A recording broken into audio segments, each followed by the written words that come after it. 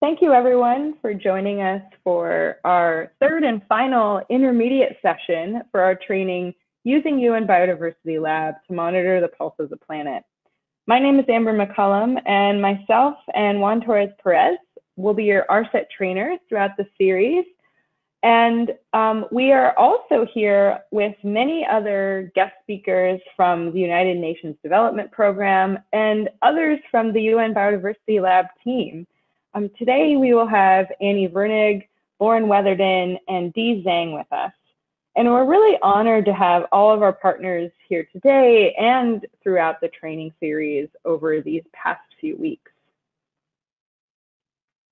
For this training, we will have two types of sessions. Our intermediate sessions, which are um, held here on GoToWebinar platform, and you've used the same registration link to join each week. These sessions consist of lectures and case study examples. The 1.5 hour intermediate sessions um, were held on the 14th of April, the 21st, and then today, the final session on the 28th. Note that for the intermediate sessions, we will present the same material each day in English, Spanish, and French. So please sign up for your language of choice. There are also two advanced labs, which will be held on April 27th and May 4th. They are hosted by the UNBL team via Zoom with separate registrations. They are given in English with simultaneous interpretations in French and Spanish. Unfortunately, the registrations for these labs are already closed, but you can check back on our course website for information about those um, training sessions after the series is over. All of the course materials can be found here on the ARSET training website. So this includes the recordings of the sessions um, via links to our YouTube channel, the presentation materials, and the and now the Google Form homework that's available for the intermediate sessions. So I encourage you all to also type in your questions to the Q&A box along the way and we'll try to get to as many questions as we can at the end of the session today. And we will post all of the questions and answers on our website for reference um, after we've completed them. And if we don't get to your question during the session, you can also email myself or my colleagues Juan or Annie at our email addresses shown here. For all three of the inter intermediate sessions, we have this one follow-on um, homework that is now available on the course website. To receive credit for this homework, you must submit all answers via Google Forms by the deadline of Thursday, May 12th. To receive a certificate of completion, you must attend all three live webinars and complete the homework. And it can take some time to process so many certificates, so please be patient with us and expect to receive those about two months after the completion of the course. The UNBL team will also be issuing certificates of completion for their advanced labs.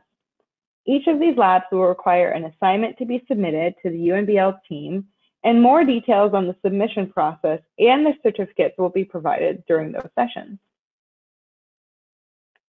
So here's the general overview of our intermediate sessions. We've already covered um, how to use UN Biodiversity Lab to support country-led action. And last week, we talked about exploring the UN Biodiversity public platform. And then this week, in our final session, um, we're going to be discussing how to explore the um, secure workspaces. For the advanced labs, as I mentioned, each had their own registration. Um, Advanced Lab 1 um, talked about mastering the UNBL public platform and provided that really in-depth deep dive. And then Advanced Lab 2 will be focusing on that deep dive of the secure workspaces. Each of these labs will have um, hands-on exercises to guide you through these functionalities as well. So this week, we will begin with a recap of what we learned during our last session. Then we will review UNBL workspace functionalities. Then we will discuss essential life support areas and other forthcoming functionalities. We will then have time at the end for our question and answer session. So now I'd like to hand it over to Annie Virnig, who will be providing a recap from last session. So over to you, Annie.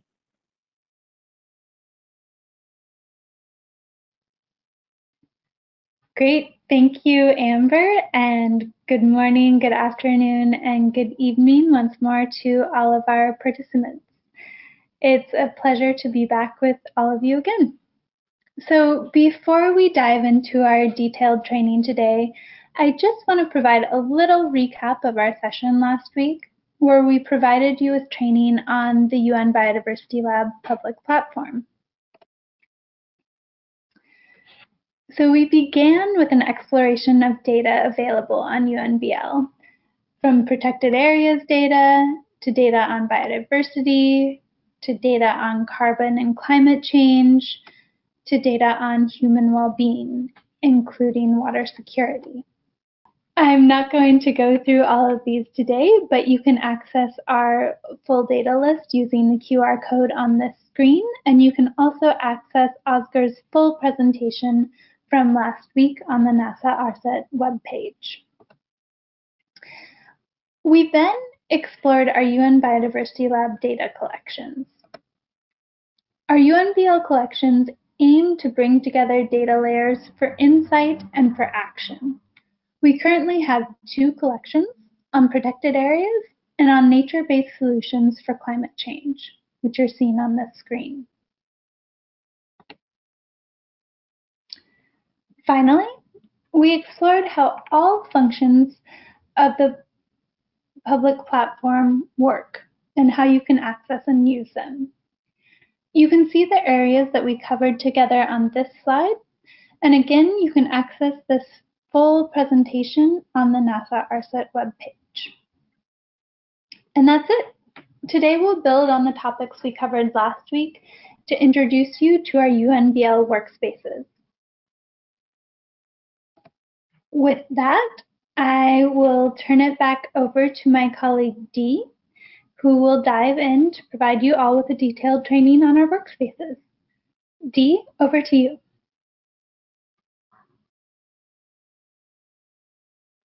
Hi everyone, I'm Di Zhang. I'm a spatial planning analyst with UNDP. It is such a pleasure to be here with all of you today, and thank you so much for joining us. In the training last week, we explored all the functionalities available to users on the UN Biodiversity Lab public platform. Today, we will dive deep into our another important and powerful tool, the UNBL Secure Workspaces. We have designed today's training to cover the main elements of our UNBL workspaces from an overview of the functionalities to the core operational skills. During my presentation, if you have any questions or comments, please feel free to send them to the chat or email us. We'll make sure all your questions will be answered. All right, now let's get started. Let's begin with the very basic question. What is an UNBL workspace? Besides the hundreds of global datasets available on our public platform, we also recognize that governments and local stakeholders often have much better data for their countries or regions than what's available at the global level. And they often need to bring together multiple departments and other key users to collaborate across silos. And that's how we come up with the idea of secure workspaces.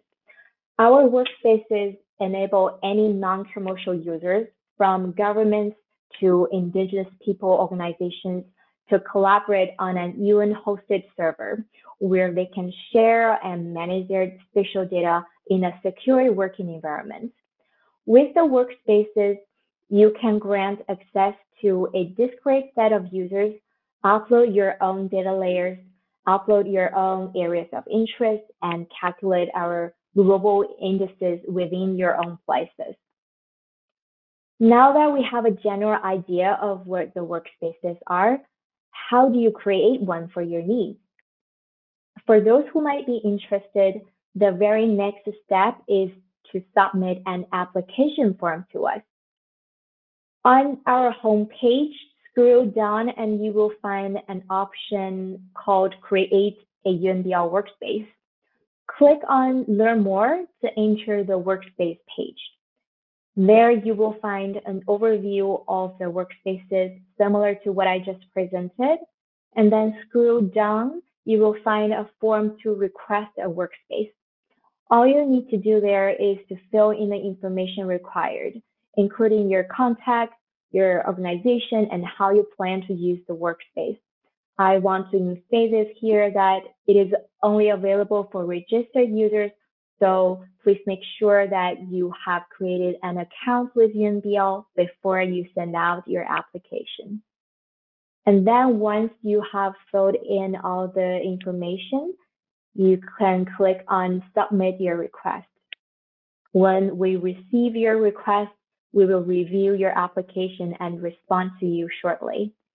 For those who, uh, for those of you who are participating in our second advanced lab next week, we have created temporary workspaces for you and we'll be sharing this information shortly.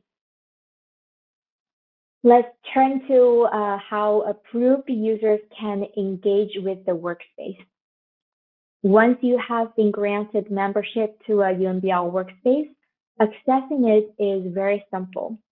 First, make sure you're logged in to UN Biodiversity Lab. And second, click on the map view. You should see on my screen, the first one named UNBL is our public platform. And under these are all the workspaces you're a member of. Um, this is my screen, so I've joined many workspaces. My list, my list might be much longer than yours. And next, to view the data in your workspace, you should click the checkbox to activate this workspace.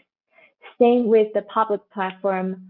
First, click on the places to view all the place shapefiles you uploaded, and then click on layers to view the layers you uploaded. For example, now I am viewing the national and regional data in my workspace. Um, but of course, if you uploaded nothing, you will find nothing there. We also highly recommend that you view your workspace data together with the global data on UNBL. And how do you do this? Again, click on the map view and activate the top one named the UNBL. As said, this is our public platform with all the global data layers. Once I have activated the public platform, you can see that the global dynamic metrics have now popped up. And these indices will be automatically calculated for your places of interest. For me, uh, what I'm demonstrating here is the rectangle, which um, demarcates the bond box of Serengeti. And now on my screen, there are both data from the public platform and data in my workspace. This very useful function allows me to visualize layers from my own project with any of the global layers available through UNBL. For example, here I am visualizing the essential life support areas in Uganda, which is a layer from my own workspace. And now I'm overlapping it with the global intact forest layer from UNBL. In that way, I can view how much of the intact forest is covered by my project area. And now you might start to ask, with this useful function, how do I upload my own data like what you did there? The answer is through your workspace admin page. So next, let's go through the workspace administration step by step. To access the admin page of your workspace, again, click on the map view menu and there you will see an admin button at the right of the name of your workspace. Click on this admin button of the workspace you want to enter, and then the browser will jump to the admin page of your workspace. For example, I am accessing my um, workspace named UNBL ELSA that I'm an owner of. Now we have access to the admin page of the workspace. Let's navigate the various components. First, click on the tab to the right of the Home button to extend the drop-down menu. There you will find components you can manage, including places, layers, and users. You might also see widgets and dashboards there. Currently, those two functions are not customizable for regular users, but they will come soon. Select the components you would like to view, and we will now go through each of them in the following slides. We'll start simple from managing the users. Once you have created your workspace, you have the ability to share it with other users to create a community of practice. We currently offer four types of rules enabling you to grant your collaborators the most appropriate degree of access to your workspace. Let's start with the lowest level of access, viewers. Users granted viewer privileges can view any data or places you published from your workspace, but they won't have any admin options. And then editors have increased access. They can additionally upload or delete data within the workspace. And for the admins, they have um, another additional ability to manage the users, including add new users, assign them roles, and remove users that no longer belong this project. Finally, the superpower goes to the owners. The owners hold all the controls over the workspace. They can change the name or even delete the whole workspace. And of course, manage the users as well as all the data layers. So as said, to add new users to a workspace, you need to be at least an admin or an owner. Then follow these steps. First things first, the new users you want to add must already have a registered UNBL account. Otherwise, you will fail your mission because the workspaces are available for registered users only. And once your users have registered on UNBL, to add them, Look at the left-hand side of my screen, click on the drop-down menu and navigate to the users page. And then enter the user's email address um, and assign them the appropriate roles. I am demonstrating this workspace as the owner, so I am available to grant my users the other three types of roles, admin, editor, and viewer.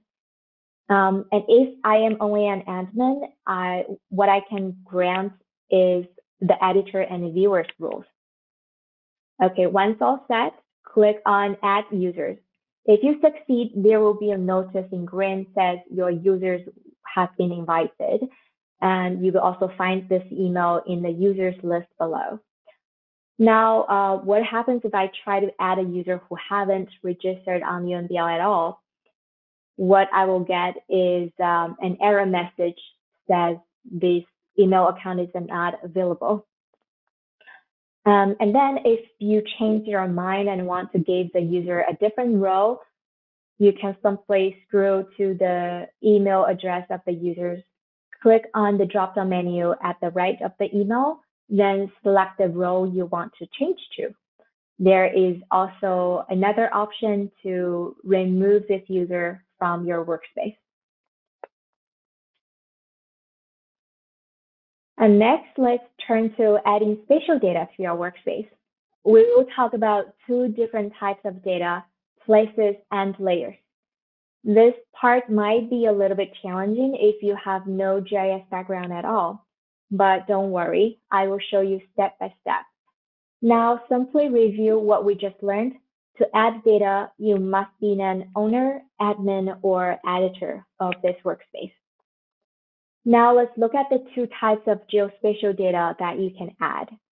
The first one is places or areas of interest. Places will always be uh, vector data, such as a polygon boundary of a country or a protected area, polygon, and so on. And then the second option is data layers. These can be either raster or vector data. You can see some layers examples listed on my slide. Um, and first, I'm going to show you how to add new places or areas of interest to your workspace. This functionality allows you to upload a vector shape file for a subnational, national, or transboundary area of, of interest. Once this area file is uploaded to your workspace, you can use all the functionalities on the public platform for it, including calculation of dynamic metrics, clipping and exploiting raster data layers to the range of your place. And our security guarantees that only users of your workspace will be able to access and use this strip file. So how do we do this? To add a new place to your workspace, navigate to the place page from the pull-down menu on the left-hand side of the admin tool. Click on Create New Place button. Um, next, I will use the national boundary of Costa Rica as an example to demonstrate all the steps. So on the New Place page, fill in all the following information. First, title, insert your place name. We recommend you to keep this short and clear. And then for place type, select the appropriate class from the drop-down menu. In my case, it's uh, country. And then the slug. The slug is a unique identifier for the place, and that contains only lowercase letters, numbers, and hyphens. No space can be used. There, we recommend you to use the Generate a Slug Name button to let the system help you generate appropriate slug. And there we're at the Upload Your Place button. Currently, we only accept GeoJSON file formats, and each of the single file has to be under 6 megabytes. If you have um, a GIS software like QGIS, it's easy to convert the file format, and I will show you how to do this in my next slide. Then um, after you have chosen your file, uh, uploaded it, click on the Save and View Details part button. Um, and then if you're able to preview your place in the map box, like my screen here, it means you have uploaded this place file successfully. Now, in case you need more guidance on converting the file format, the easiest way I found is to convert it directly with GIS software. QGIS or ArcGIS can all do that. For example, in QGIS, first load your shapefile and then click on export and select the save features as. There you will be able to find a list of the file formats. Select the GeoJSON one. Then don't forget to check your coordinate reference system, the CRS. Make sure it's in uh, EPSG 4326. After all set, click on export. There you will get a GeoJSON file. Beyond this, I'd like to also remind you that each place file needs to be a single feature vector file. It is okay to have multiple polygons in one file, like uh, my file here, but they all need to be merged as one feature. All right, back to the workspace. Once you have saved your new place, you will be brought to the location's home screen. For your place to be accessible in the map view, you must publish the place by clicking on the Publish to Google on the top right corner of my screen. For example, currently without publishing, I can't find this place on the map view. And when I go back to administration page and clicked Publish Place, also clicked to feature it in the left panel, the Costa Rica has popped up on my place panel. If I click on it, the map will zoom it in automatically. And with that, now you're able to view the global dataset or clip and export the data to the range of your area of interest. When you activate the public platform, the dynamic metrics will also automatically calculated for your place.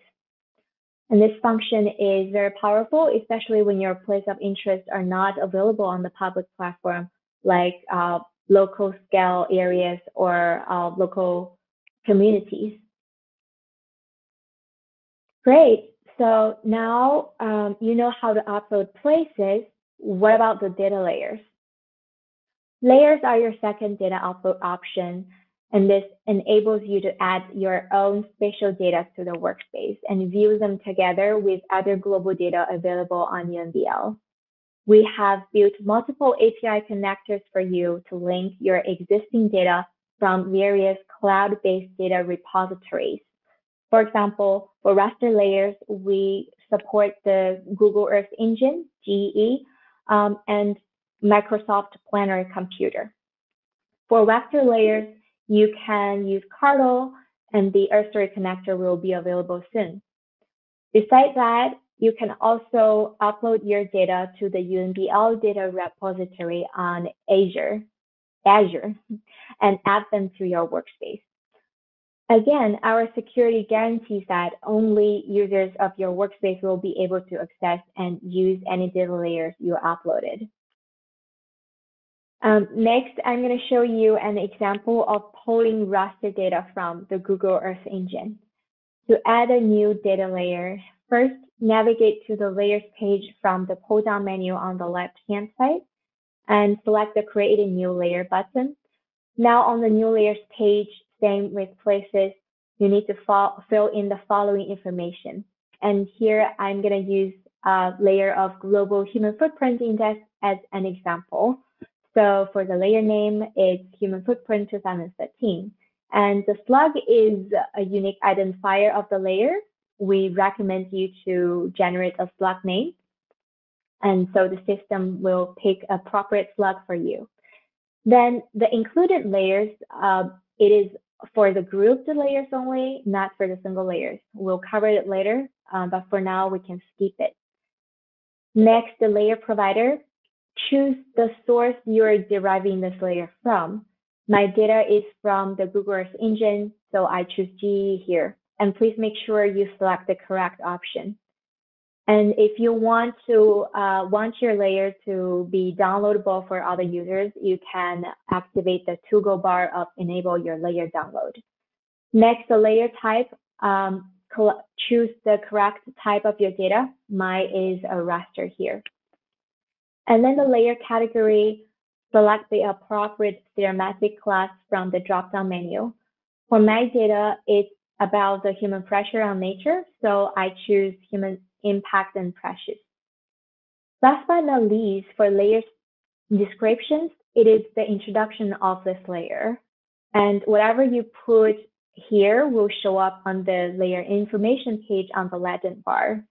So um, you can put in the information of layer descriptions, like um, the layer citations in the um, description box. All right, after all set, the next part is the layer config. This is kind of the most important part to bring this layer to UNBL successfully. And I would like to spend more time here to talk through how you're going to edit those configs. As you can see on my slide, the config follows a particular template that can be copied and pasted into additional new, new layers. You can find this information on our workspace user guide. I'd like to ask my colleague to drop the link to the chat. And to start, let me point out the part of the config you need to edit by yourself. First, highlighted in pink is the asset ID of your data in GEE.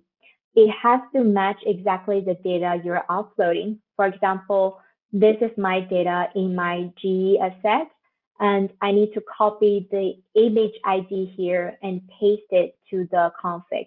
It has to be exactly the same, otherwise the layer can't be pulled successfully. Next, set the color of your map and design the style of the legend. For continuous data, we suggest you to use the ramp tab. For categorical data, we suggest you to use interval.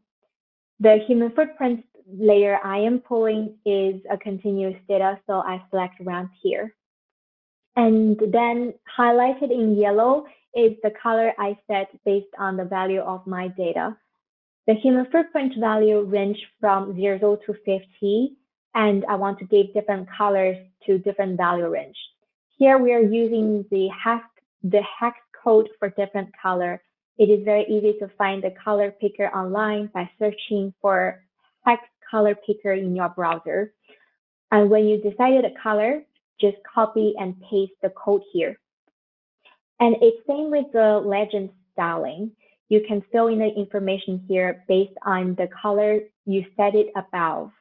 For continuous type of data, we suggest you to use the gradients as the legend type, like highlighted on my screen currently.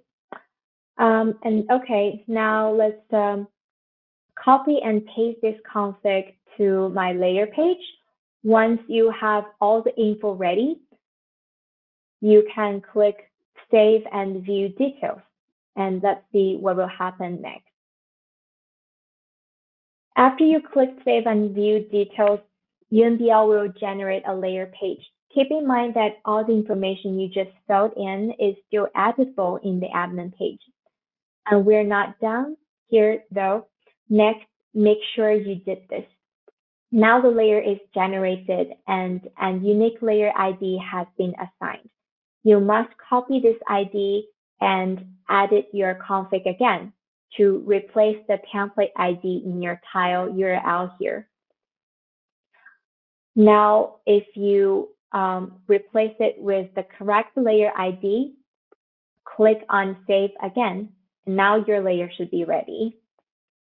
If you want to activate this layer to the map view, make sure you click on the toggle bar on the top right corner of my screen to publish this layer and set it as primary. And then you're able to find this layer in the workspace. When you click on the toggle bar, you can activate to the map view and see if it works well.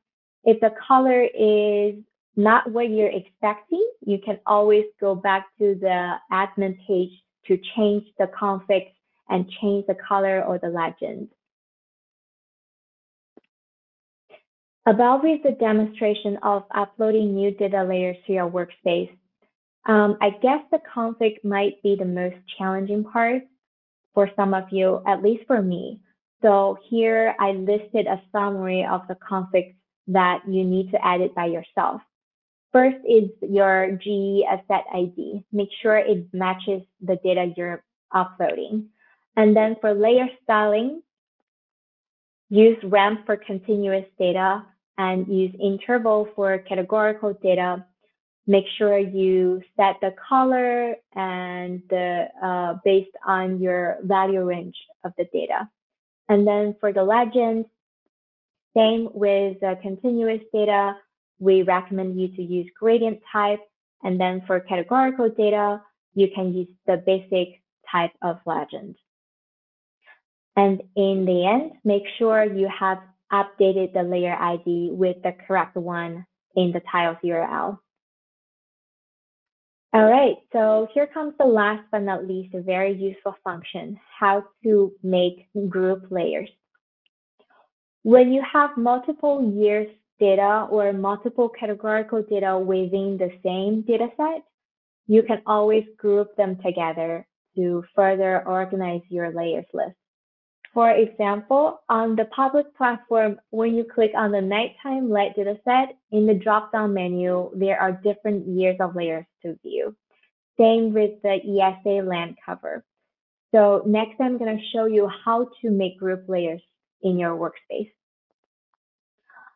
Let's uh, first navigate to the layers page. Before group your layers together, you need to make sure you have uploaded all the single layers one by one following the steps I shared earlier. Here I am using the human footprint index dataset as an example, and you can see I already uploaded the layers for the year 2000, 2005, and 2013. And I will now group the three layers together. First, check the check each layer and see the top right corner of my screen. Make sure you have activated the published toggle bar but at the same time, do not mark them as primary. This part could be a little bit tricky.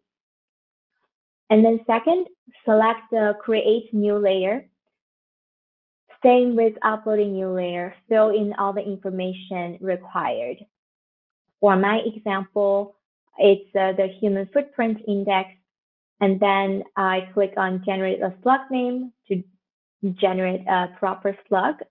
Next, For the included layers, you need to select all the layers you want to group together.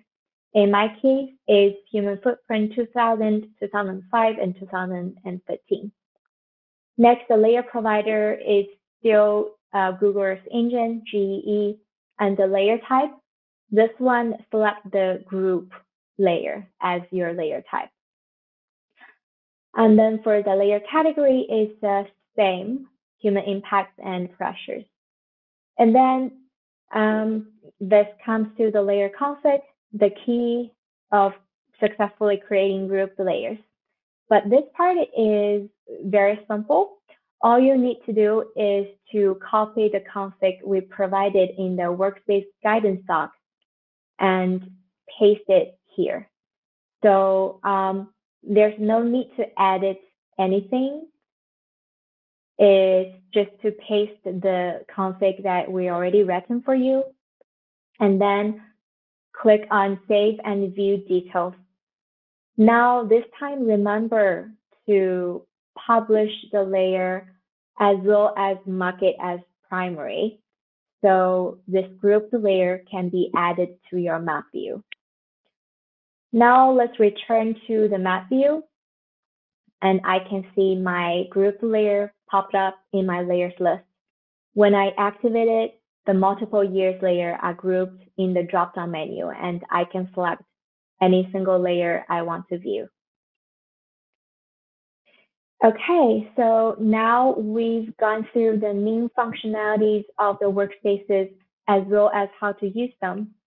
I really hope I made myself clear and thank you so much for joining me today. As I mentioned a couple times earlier, the configs can be found in our detailed workspace guidance document. So I'm sharing the links here. This document also provides the written version of all the information I have shared today and it's available in five languages. Um, so I hope you find it useful. If you have any questions, please feel free to email me. And if you registered the second advanced live session, me and my colleagues will be there and we'll get you through a couple handout exercises to make sure you know how to use the workspace functions. With that, thank you so much for staying with me and I will hand it back to our facilitator. Great, thank you so much, Di, and thank you for this comprehensive introduction to our UN Biodiversity Lab workspaces. To conclude this final session of our intermediate training, I'm thrilled to be back, this time with my colleague Lauren Weatherdon from UNEP WCMC. Together, we'll zoom back out to look at the bigger picture, We'll touch on our vision moving forward at this critical juncture in time and explore how we think spatial, spatial data in general, and UN Biodiversity Lab in particular, can support informed, efficient action for nature, climate, and sustainable development. We'll also share about upcoming functionalities under development for UN Biodiversity Lab that you can expect to see in the coming year. All right, let's start with the vision. So as we confront the threats of biodiversity loss and climate change, we believe that spatial data is essential to help us take action. With over 2,000 satellites revolving around the Earth, the data they produce can serve as an integrator for planning, action, and monitoring across sectors. As we discussed way back in our first session, the current draft of the post 2020 Global Biodiversity Framework of the Convention on Biological Diversity recognizes the importance of spatial data and spatial planning to combat our biodiversity crisis. This is one of many global policy agreements and targets for which spatial data will be imperative. So how can we ensure that countries have the resources to access and use spatial data to deliver on these critical global targets? How can we ensure that countries have a way to use spatial data to precisely locate, locate where protecting, managing, and restoring nature could have the greatest impact? UNDP is coming together with our partners to support a vision of a world where government agencies develop spatial plans to achieve multiple goals that include conserving nature, sustaining ecosystem services, and mitigating our climate crisis. With UN Biodiversity Lab as our foundation, we're looking to unroll a comprehensive package of support for countries to use integrated spatial planning to make decisions, take action, and monitor the state of their biodiversity and ecosystem services. Today, Lauren and I will highlight the work of two initiatives that we see as critical for this vision, Nature Map and our work to map essential life support areas. We'll also show you how we're working to make both of these available through UNBL. And finally, We'll give you a sneak peek of the new things that you can expect from UNBL over the year to come. So let me turn it over to Lauren to talk a little bit about Nature Map. Lauren, over to you. Thank you very much, Annie. First, let's start with Nature Map. Our colleagues at NatureMap are using the science of systematic conservation planning to help us identify priority areas at the global level where action can achieve multiple goals effectively. Over the past several years, the NatureMap initiative has produced new global spatial data on the distribution of species, carbon stocks, and clean water provision by terrestrial ecosystems. And to do this, they developed global conservation and restoration analyses to highlight areas simultaneously valuable for species, for carbon stocks, and for clean water provision, using the science of systematic conservation planning. All of the results produced by the Nature Map initiative are available through UN Biodiversity Lab. These types of global analyses are, and data are often useful for assessing the size of the prize from integrated planning, for informing global target setting under international conventions, for understanding the geographical distribution of potential priorities worldwide, as well as for making comparisons across international borders. At the same time, country ownership, data, and participative processes are essential for real-world planning that feeds into national strategies and action plans. For example, nature map approaches have been deployed at a national scale in Latin America, exploring how conservation actions in Argentina could deliver biodiversity conservation, clean water, and conservation of vulnerable carbon stocks. Spatial analyses that optimize across multiple objectives can suggest efficient solutions that maximize the benefits for a given area target. For restoration, for instance, Nature Map focused on the potential benefits of returning converted lands worldwide to a more natural state.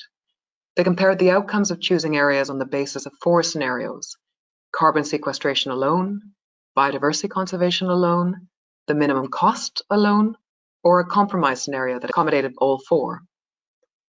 The analysis found that at the extremes, restoring 5% of converted lands chosen to maximize biodiversity benefits could reduce expected species extinctions by 43%, while selecting on the basis of cost alone would reduce extinctions by only 4%. The take-home message is that area-based conservation plans can be designed to maximize results across multiple dimensions. And just to emphasize that spatial analysis is an input to a participative planning process not the solution all by itself. And now I'm going to turn it over to my colleague, Annie. Great, thanks, Lauren. At UNDP, we're pioneering a process that uses similar systematic conservation planning approaches to jointly prioritize for conservation, restoration, and sustainable land management.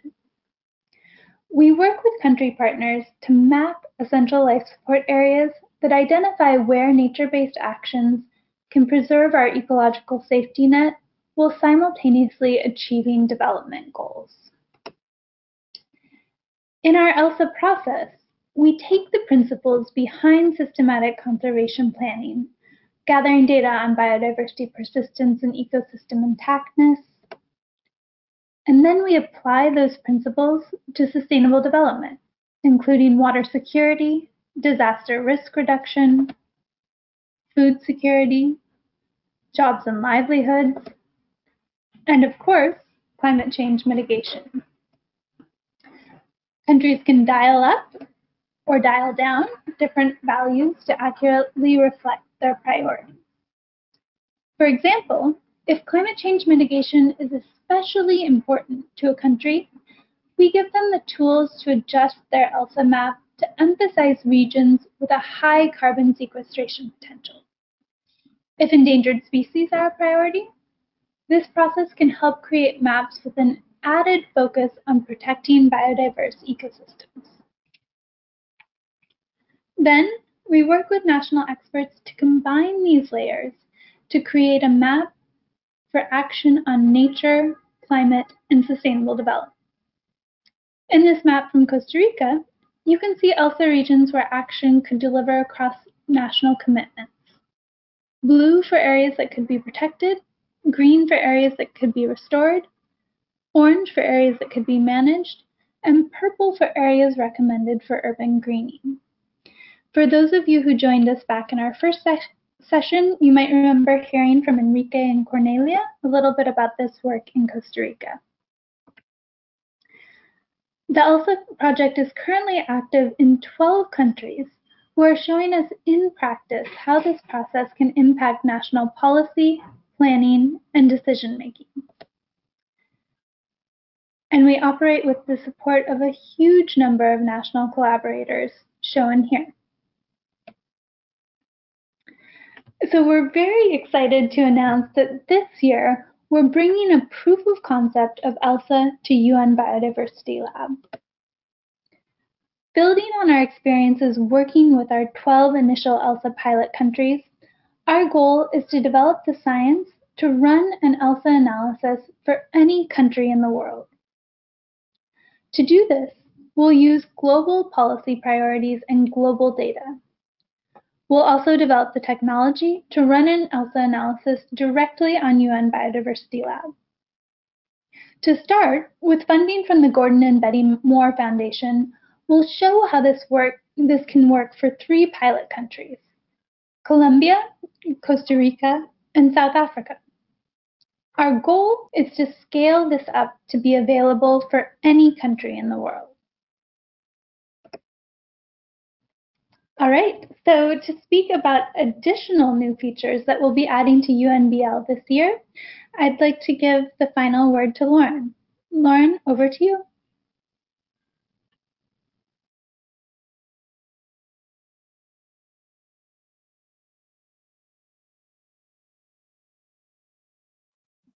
Thanks very much, Annie.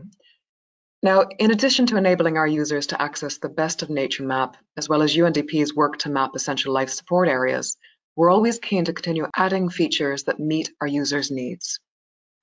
Our functionalities in development include enhanced data tagging and searching functions so you can find the data you need more easily, API connectors to enable more seamless connections with our data providers, which will ensure that their most recent update is always accessible to you, and finally, we're also exploring how we can integrate new UN base maps and country boundary layers, as well as to connect to near real-time and high-resolution satellite imagery. As we look towards new funding sources, our goal is to work with, in consultation with users to develop different features, such as those you see here, from new data collections to expanded metrics, to the ability to connect to your national data repositories, as well as other features. Please don't hesitate to reach out to us to help us understand the features that could help meet your needs better. And stay tuned via our newsletter for calls to join our user testing processes. Beyond the hardware of the UN Biodiversity Lab interface, we believe that it is truly the relationships that power this platform. UNBL relies on an extensive network of data providers, partners, and users like you to shape our mission. Over the coming year, we will be exploring how we can bring more of you together in different venues so that you can learn from each other and make connections. We see ourselves as a convener to help ensure that these data are accessible to those who need them to take action. Building on this, we are very excited to announce a new coalition that is aiming to promote good use of spatial intelligence by countries and businesses in order to jointly achieve climate and nature objectives. This builds on the work we are sharing today, on UN Biodiversity Lab, on the ELSA process, on Nature Map, and more. And in the first half of 2022, Spaces is consulting widely on the needs and interests of countries and businesses to inform and build this coalition. This inception phase is funded by the Gordon and Betty Moore Foundation and is co-convened by UNEP WCMC and Systemiq. Please feel free to get in touch using the email info at spacescoalition.org and stay tuned. And with that, I will turn it back over to Amber and thank you very much for, for your attention.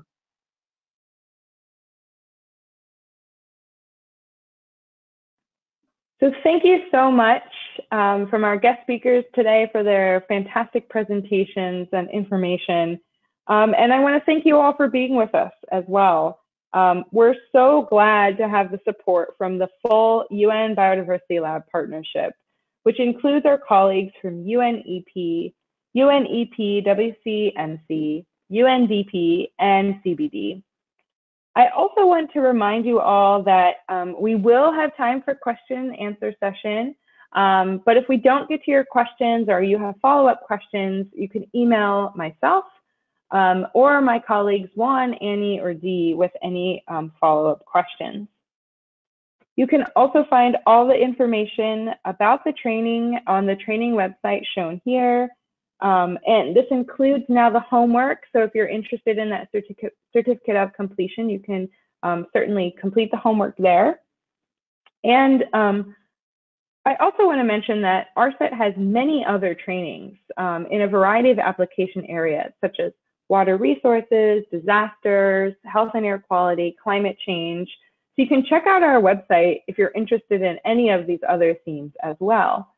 You can also follow us on Twitter um, to get information about upcoming trainings or, or events relevant to um, our data and trainings. I also recommend that you check out our sister programs, Develop, which is our internship program, and SERVIR, which is our international program. And I also want to make note that um, after the training series is over, we will be sending you all a um, link to complete a survey and these surveys are so important to us. Um, we really value your feedback on what you liked and what you didn't like about this training. Um, and in particular, we would love to hear about future trainings that you would like. Um, so we really do take into consideration this feedback when we create our work plans for the future and we develop trainings in different areas as well. So um, keep a lookout for a survey on the training and do um, provide your feedback as we really um, appreciate that. So thanks again, everyone, and we will now move on to the question and answer session.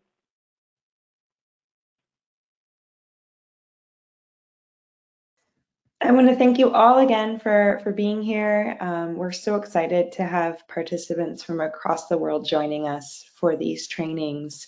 Um, it's really great to see. Um, I also wanted to mention briefly um, again that the homework, the link to the homework is now available on the on the ARSET website. So if you are interested in that certificate of completion, you can go ahead and um, complete that homework. It includes questions from all three of the intermediate sessions. Um, so you might need to refer back to those um, to answer those. so do please take a look at that. Uh, I also wanted to remind everyone that we um, will have the recordings for each of the sessions as well as the um, presentation materials and the Q&A document available on the ARSET website in due time. So um, if we don't get to your question today, um, or you want to just reference a question um, from the past, you can go back on the website and, and take a look at those once we've um, got those up and edited. So um, thanks again, everyone. And, and, you can also see my email, uh, email address, uh, my colleague and my colleagues Juan and Annie's email here. Um, if there are questions that we don't get to, feel free to follow up with us as well. Um, great, and let's go ahead and jump right into the questions. We have a few for today. Um, so the first question is it possible to upload our own polygon, which can represent districts, in the UNBL to perform zonal statistics on the layers, for example, the Global Intactness Index? And I think we'll um, jump over to Annie to answer this question. Great, thanks, Amber. I will jump in here on behalf of Di.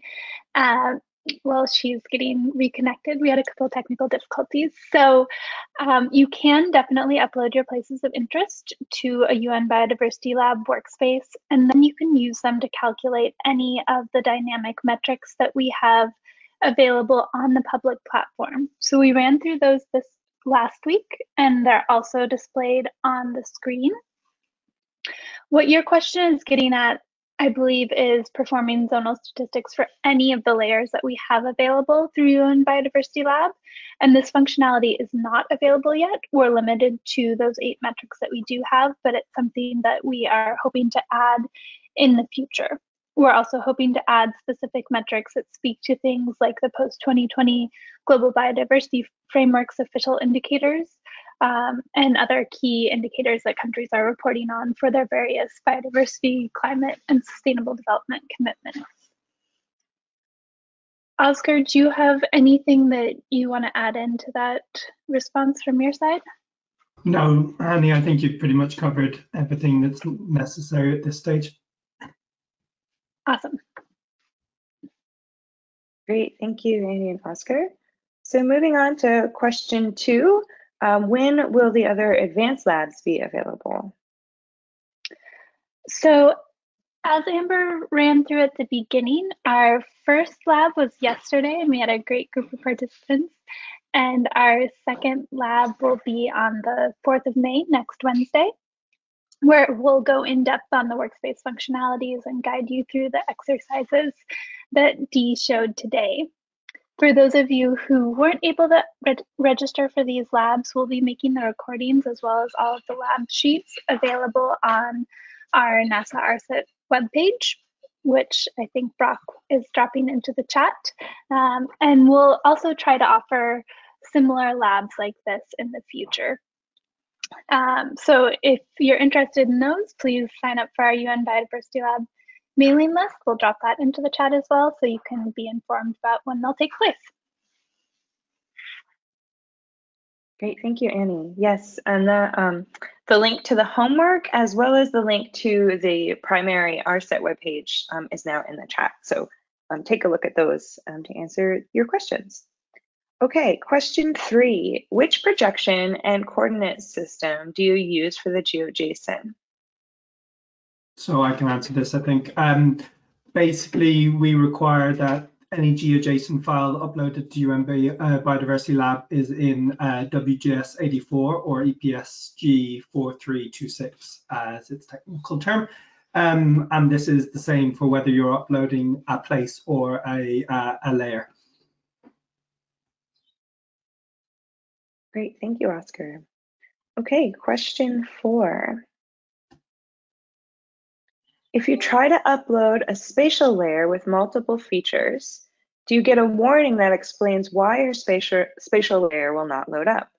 Likewise, if you upload a shapefile or other, do you get a warning that it's not a GeoJSON file? Um, this is one I haven't checked off the top of my head, if I'm honest, but I would hope that you do. And if you don't, that is something we can definitely look at adding in to make sure it's clear to users. Um, but as you see here, you're still able to upload multiple files when viewing places, um, but just the attributes won't be accessible. And you can then uh, uh, um, do the zonal statistics for the whole um, group of polygons instead of per polygon. Um, currently only GeoJSONs though are supported for places, which is uh, important to note. Um, and if you'd like to view your vector data while keeping attributes on the map, when, when you're clicking on each poly polygon, the attribute table is able to pop up. We suggest that you pull the data through as a layer into your workspace. And this can be in multiple formats depending on the cloud repository you're using. Um, and then there's a kind of a, a long kind of description of how you might go about doing that, just some specifics uh, that Di has put in here.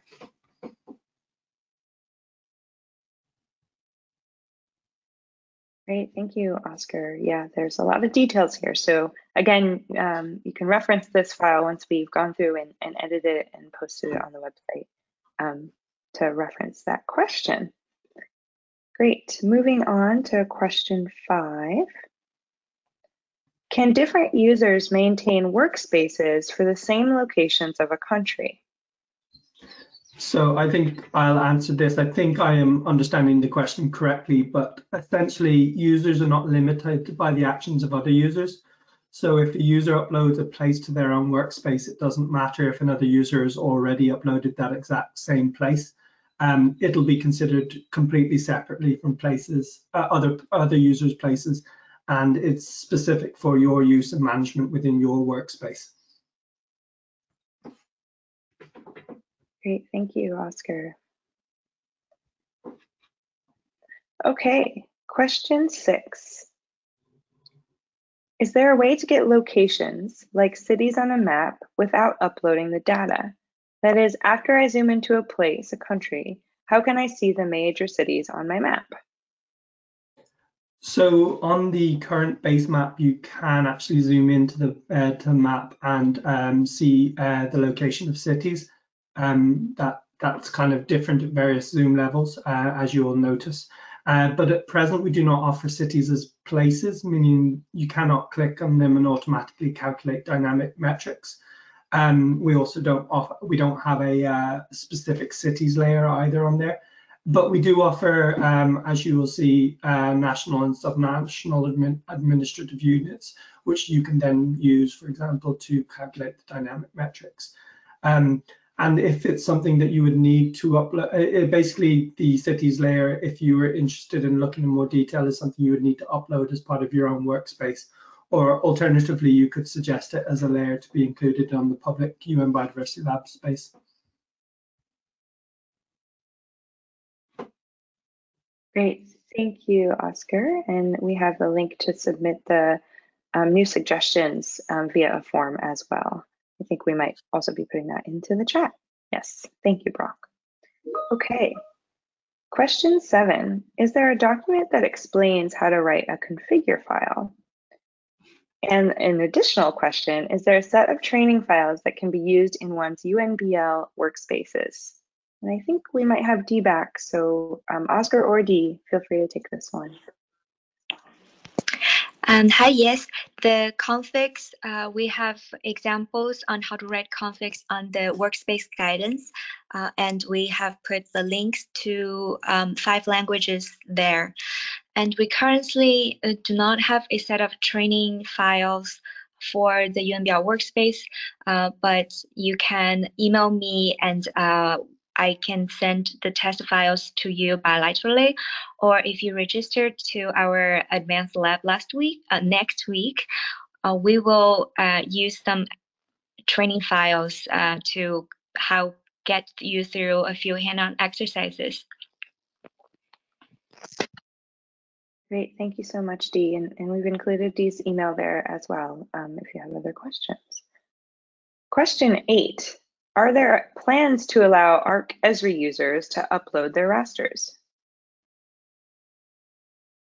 I can jump in here, Di, if you like. Um, yes, essentially, this is something that we're in the process of implementing, um, and we're also hoping to be able to uh, link to Esri Web Services very soon. We currently support links to existing uh, raster and vector layers that are already stored in Google Earth Engine, Carto, the Planetary Computer, and several other cloud locations and you can upload your own data layers directly into UNBL's GIS data repository on Azure and have them available into your UN Biodiversity Lab workspace. Thank you, Oscar.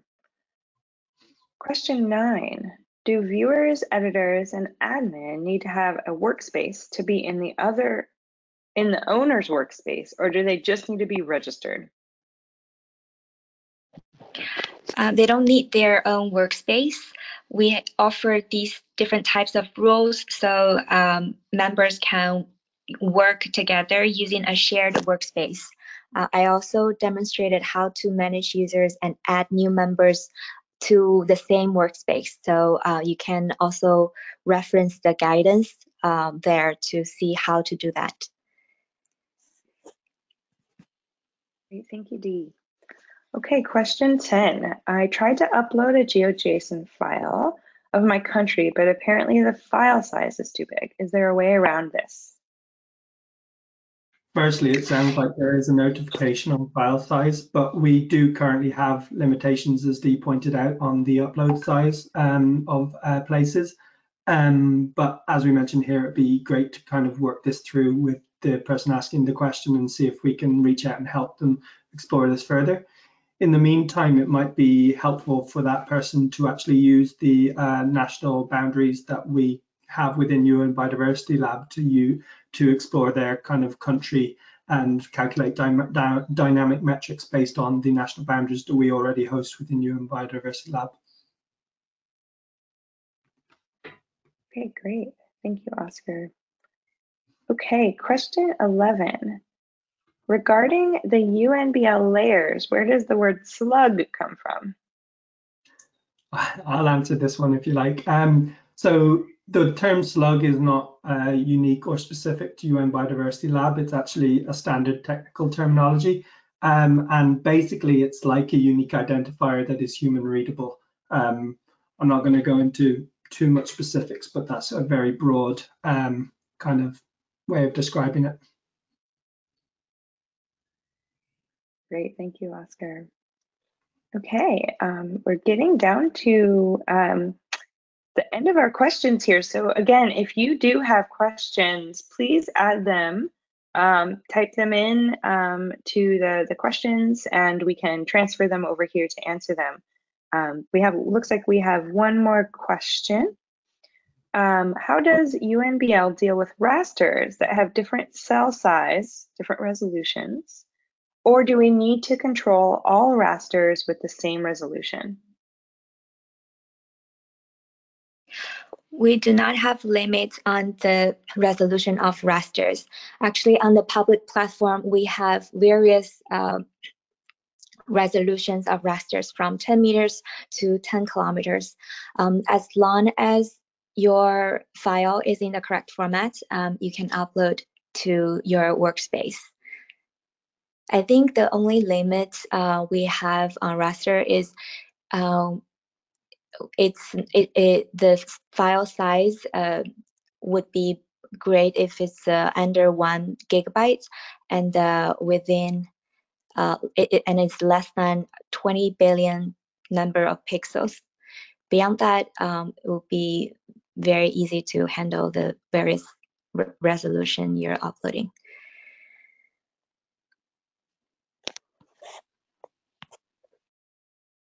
Great, thank you, Di. Um, yeah, and we're adding a few of those details here to the question as well. Um, it looks like we um, got one more question here for now. Question 13, is there a plan to allow files like GeoPackage files to upload their rasters in terms of making UNBL accessible to people from all of the all over the world? This seems important. Um, I can answer here, um, and Di, if you if I make any, any mistakes, just jump in uh, if that's okay. But um, I completely agree with this uh, question. You know, offering these sort of open source um, uh, standards are going to be uh, very important moving forward. Um, we have been highlighting the uh, the Esri solutions that we are um, looking to offer because of the magnitude of people using Esri as an environment. Um, but yeah, we are always looking for opportunities to improve, and one of them will be looking at different um, uh, uh, file types that we can allow people to work with.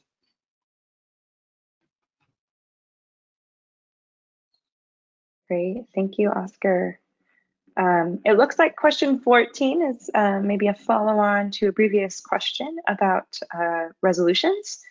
So the question is, can various spatial analysis be accomplished using rasters of different resolutions, or is it just allowing viewing?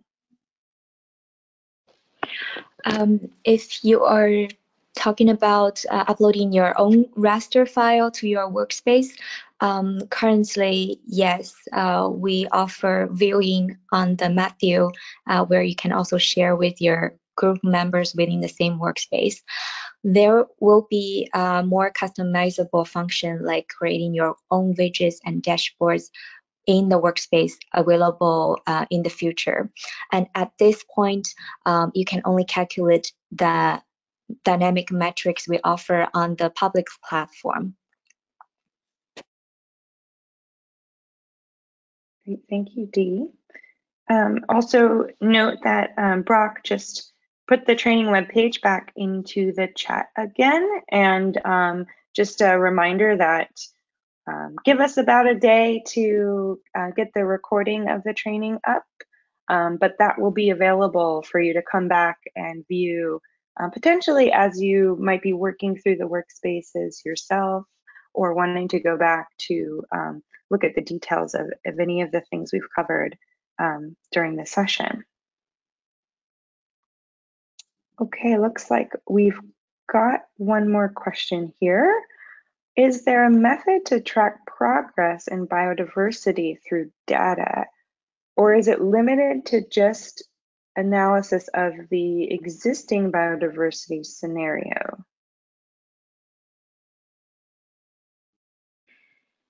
If I'm understanding, sorry, go for it.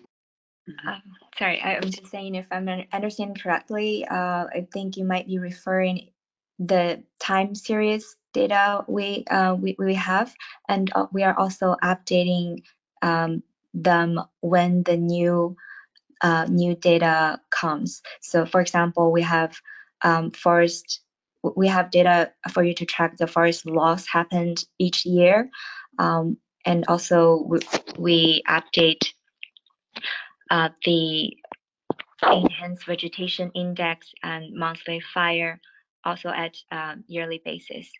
That time series information will help you to track the changes, uh, status and changes on uh, biodiversity related indicators. And Oscar, please add your comments as well. Thank you. That's great, Di. And the only thing I, I, would add in here is that we also do have some data sets that are projecting scenarios into the future. So for example, we have the crop suitability data set, which looks at um, the, the, how likely areas of the world are going to be for um, maintaining crop crops.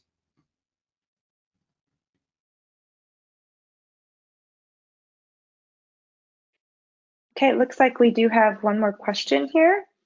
Uh, question 16. How can we do multi-criteria site suitability kind of spatial analysis on the fly with different raster spatial resolutions.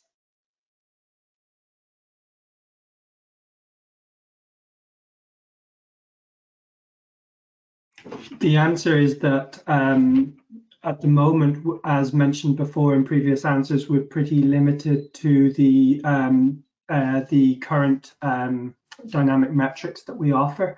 Um, we are, as uh, as said, looking into being able to offer the uh, a wider um, variety of dynamic metrics, but also the ability for users to develop their own um, widgets in the future. So basically, all I'm saying is watch this space, and then you might be able to create your own widgets that start answering that question.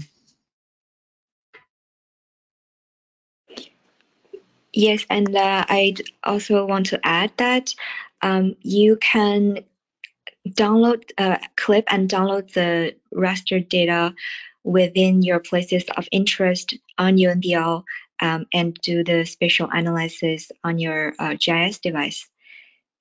That could be an option to um, do the kind of spatial analysis you may need. Great, thank you, Oscar and Di. All right. So it looks like we don't have any other questions at the moment. Um, so I think we'll go ahead and end a few minutes early today. Um, I want to thank you all again for being with us. Um, it's been so great to see you all uh, over the course of these um, three intermediate sessions.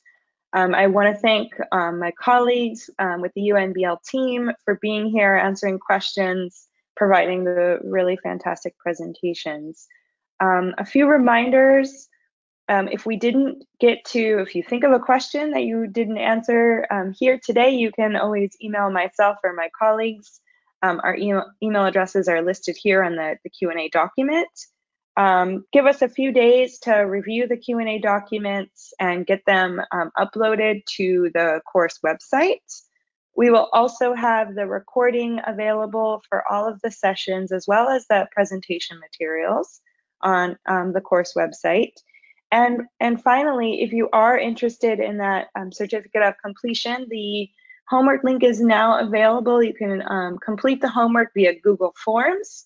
And if you've attended the rest of the sessions, we will have cataloged your attendance and we'll be sending out um, certificates in about two months. Give us a little time to work through those. Um, and then for those of you who might be registered and um, attending next week, we look forward to seeing you for the, the final advanced lab. For those of you who were not able to register for that, we will be providing those materials on the website after the completion of the course as well. Um, so we, we really do hope that you enjoyed the webinar series.